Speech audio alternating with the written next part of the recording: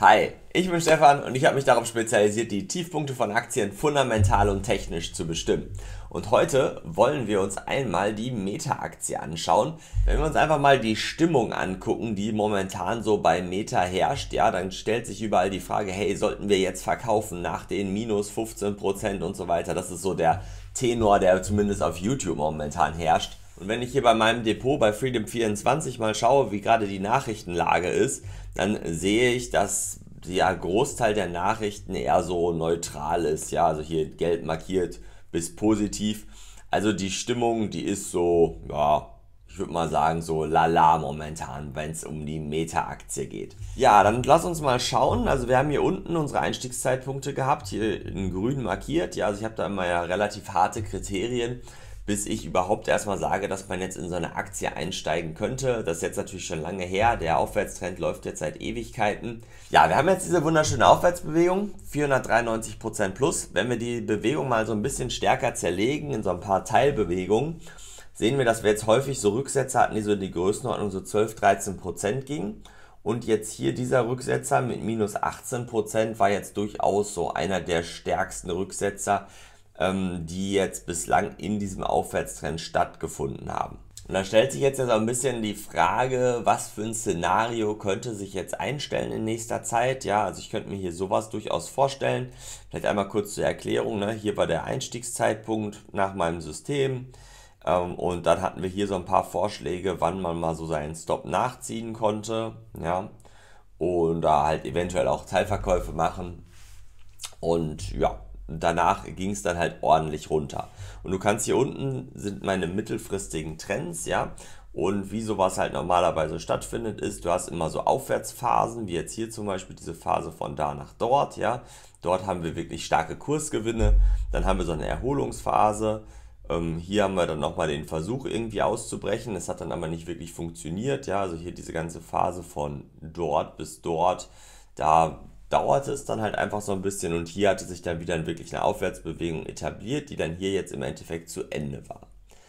So, das heißt, wir haben jetzt hier diese Aufwärtsbewegung von dort unten nach da oben, kann man, denke ich, vor allem einfach in zwei, ähm, ja, in zwei große Abschnitte unterteilen. Wir haben einmal diesen ersten Abschnitt und dann den zweiten Abschnitt. Und solch eine ähnliche Situation haben wir jetzt halt auch hier. Ja, das heißt, wir hatten hier diese extreme Aufwärtsbewegung. Am Ende von dieser Aufwärtsbewegung, der Zeitpunkt, der war ungefähr hier. Das ist auch ungefähr der Bereich, wo ich dann rausgegangen bin. Ja, und ähm, dann hat sich aber nochmal eine zweite Aufwärtsbewegung angeschlossen. Damit hatte ich jetzt persönlich nicht gerechnet, aber muss ja auch nicht sein. Ja, also ist ja nicht schlimm bei einer Gewinnmitnahme, wenn er ein bisschen früher rausgeht. So, und dann gegen Ende hier kamen dann halt wieder die Ausstiegssignale und danach war der Trend dann auch wirklich vorbei. Ja, und jetzt ist halt so ein bisschen die Frage, was kommt? Kommt jetzt nochmal eine dritte Aufstiegswelle? Ja, oder wird es jetzt eher so sein, dass wir jetzt eine Abwärtsbewegung bekommen? Ein ganz schöner Blick, der uns da vielleicht hilft, ist der Blick auf die Saisonalitäten. Also, du kannst es hier sehr schön sehen. Bei der Meta-Aktie ist es eigentlich so, dass wir beginnend hier ungefähr so im November, ja, dann bis zum Juli wir eigentlich eine sehr schöne Aufwärtsbewegung haben. Hier in Rot, das ist jetzt der aktuelle Zeitpunkt. Und wenn wir jetzt von dort einfach mal bis zum Juli gehen, dann ist es halt so, dass wir so in 75% der Fälle in den letzten zwölf Jahren hier eigentlich eine sehr positive Rendite hatten. Und positiv heißt an der Stelle sowas irgendwas zwischen 15 und 20 Prozent, die es potenziell noch nach oben gehen könnte. Wenn wir uns mal anschauen, was könnte bis Ende des Jahres passieren, da ist das Interessante, dass wir nur in einem Jahr mehr als 25% Rendite hatten auf diesem Zeitraum von jetzt bis Ende des Jahres. Und dementsprechend ist halt der Großteil der Gewinne wirklich jetzt eigentlich in den nächsten Monaten vielleicht nochmal zu finden. So, wenn wir uns das anschauen, von jetzt bis die nächsten Monate, 14, 15 Prozent, das wäre interessanterweise ungefähr nochmal so ein Ansteigen auf die Höhe des letzten Hochpunktes, ja. Ähm, das heißt, hier die 500 könnte man damit dann theoretisch nochmal so durchschlagen und dann geht es halt darum, geht es jetzt weiter rauf oder nicht. Lass uns als nächstes mal schauen, was wäre denn so eine faire Bewertung für die Meta-Aktie? Dazu starten wir einmal mit der unternehmerischen Entwicklung. Wir haben hier die 1200 Milliarden Marktkapitalisierung aktuell. Das heißt, wir sind noch ein bisschen hier oben drüber. Also hier oben liegt unsere Marktkapitalisierung aktuell. Hier unten drunter habt ihr das zugrunde liegende Unternehmen. Wenn wir die Marktkapitalisierung einmal rausnehmen, kannst du hier sehr schön sehen, dass wir eine sehr positive Entwicklung im Endeffekt im Geschäftsmodell hatten über die letzten Jahre. Und auch die Prognosen jetzt für die Zukunft, also hier 2025, 26, 27, sind sehr, sehr positiv. Und wenn wir genau diesen Blickwinkel jetzt einmal auf die Aktie werfen, ja, das heißt, wir gucken einfach mal, wie war das denn in den letzten sieben Jahren bei der Aktie? Wie teuer war die Aktie im Vergleich zum Gewinn, im Vergleich zum Umsatz? Oder halt auch im Vergleich zur Größe des Unternehmens, da sehen wir, dass wir momentan so ein bisschen zu teuer sind. Ja? Und zwar sind wir ungefähr 8,5% oberhalb des fairen Wertes, der ungefähr bei 431 US-Dollar liegt und die Schwankung bei der Meta-Aktie liegt so ungefähr um 25% ober- bzw. unterhalb von diesem Wert.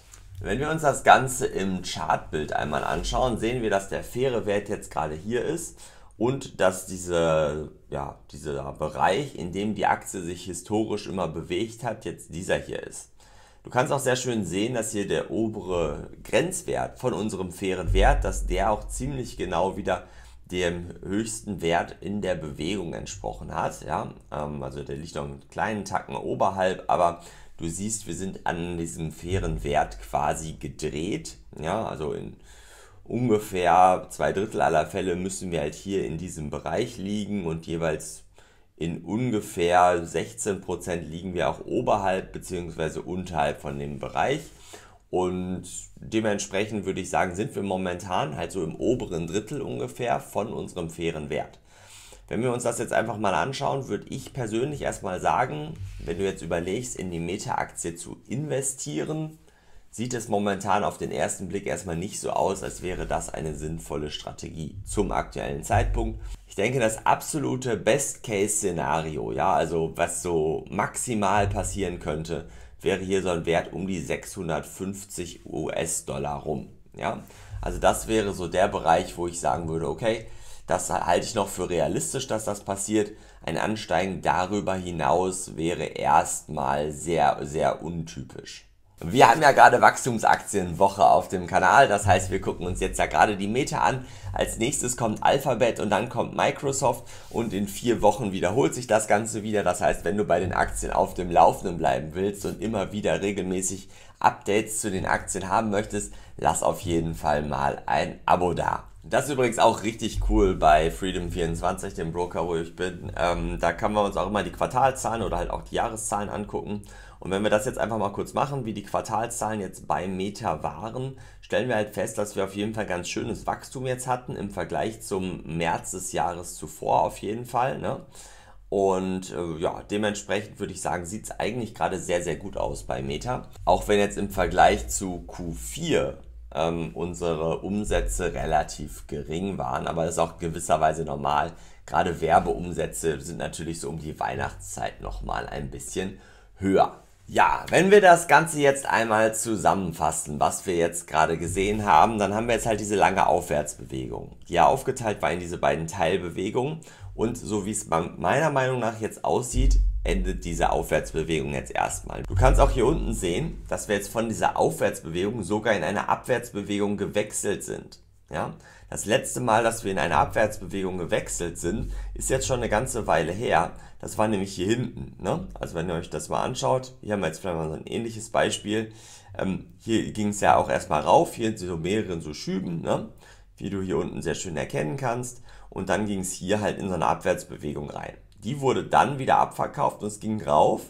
Und hier war es dann so, hier sind wir halt in eine Abwärtsbewegung reingegangen. Und hier hinten war es dann so, da sind wir halt auch in eine Abwärtsbewegung rein. Und dann war es aber so, dass wir dann halt auch wirklich abverkauft wurden. So, und jetzt ist halt so die Frage, was gerade passiert. Wir sind auf jeden Fall in so einer Transition-Phase, wo jetzt gerade sich entscheidet, hey, geht's weiter rauf oder geht's weiter runter? Ich persönlich glaube, aufgrund der Dinge, die wir uns gerade angeschaut haben, der Saisonalität, des fairen Wertes, der Entwicklung im Unternehmen, dass wir langsam an einen Punkt kommen, wo wir eine Erholung haben sollten. Ja, es ist sehr ungewöhnlich, dass diese Bewegungen so weit laufen, diese 493 Prozent. Da reden wir auf jeden Fall von einer Ausnahmesituation, von es sind weniger als 5% der Aktien, die wirklich solche extremen Bewegungen machen. Und deswegen würde ich dir halt auf jeden Fall schwer empfehlen, dass du dir mal überlegst, hey, wie sichere ich jetzt meine Gewinne ab? Ich persönlich habe ja so mein automatisches System, das nimmt einfach diese Bewegung so weit wie möglich mit. Ähm, das habe ich jetzt nochmal ein bisschen optimiert, sodass ich jetzt sicherlich auch immer noch dabei wäre bei Meta. Ähm, und ja, so muss man halt einfach immer gucken, dass man immer besser wird, sich immer besser positioniert. Auf jeden Fall hoffe ich, dass du jetzt einen guten Überblick einfach über die Meta-Aktie hast. Die Wahrscheinlichkeit ist einfach ziemlich hoch, dass wir jetzt hier in diesem Bereich einfach jetzt drehen werden. Und diese Gefahr solltest du, denke ich, nicht aus dem Blick lassen.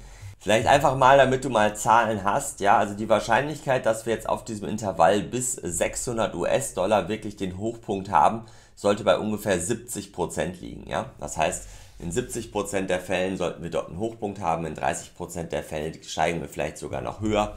Und das ist halt schon ein relativ starker Prozentwert an der Stelle. Deswegen, ja, guck mal, dass du da jetzt vielleicht langsam mal einen Ausstieg findest bei Meta. Ich glaube nicht, dass du es wirklich bereuen wirst. Ähm, so, was heißt jetzt hier Rücksetzer? Auch das ist natürlich immer so ein bisschen die Frage. Also ich halte einen realistischen Rücksetzer hier so runter, so bis auf 300 US-Dollar durchaus für eine realistische Sache. Wann könnte der stattgefunden haben oder stattfinden?